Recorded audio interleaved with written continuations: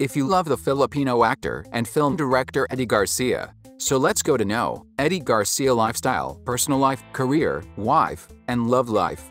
His full name is Eduardo Verchez Garcia. He was a Filipino actor, television personality, film director, and producer. He was acted in almost 700 film and television roles in his career. Eddie was the greatest Filipino actor of all time. Eddie was born on May 2, 1929, in Juban, Sorsogon, Philippine Islands. His age was 90 years at the death time. He was the Filipino by nationality. He was a height of 5 feet 10 inches and weighed around 80 kilogram. His eyes color was dark brown and hair color was gray. He was the son of Antonio Garcia and Vicenta Verchez. He has four siblings named Mila, Efren, Menchu, and Santiago. He and his siblings raised by his grandparents. Let's talk about Eddie Garcia career.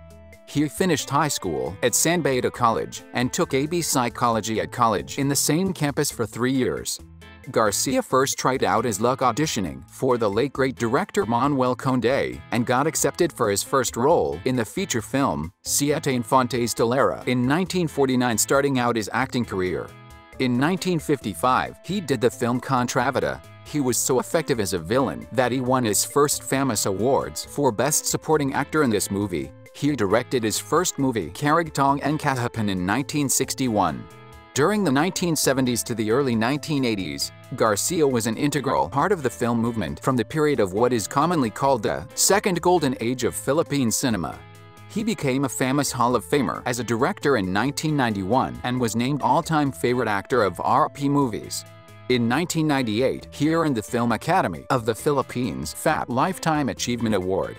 Garcia earned his first International Film Award at the 55th Asia-Pacific Film Festival as the lead actor for the movie on December 15, 2012, garnering the Asian Film Award for Best Actor, the only Filipino so far to win the award. Garcia continued to actively appear on films when he reached the age of 89 in 2018 and emphasized that retirement was never in my vocabulary. Garcia's last notable works were ML, an entry of 14th Cinemalaya Independent Film Festival.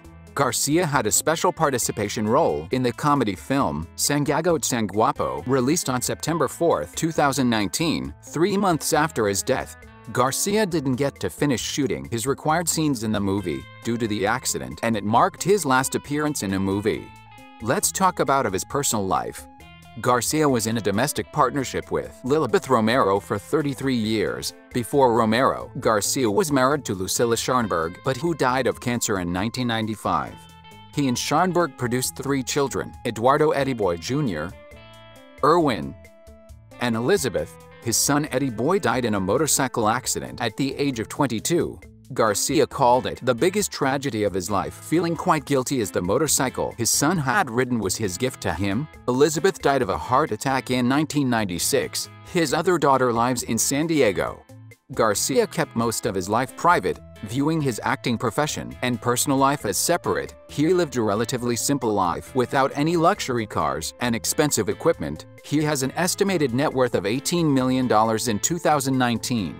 This is all about the lifestyle of Eddie Garcia. Thank you for watching. If you like the video, please subscribe to my channel.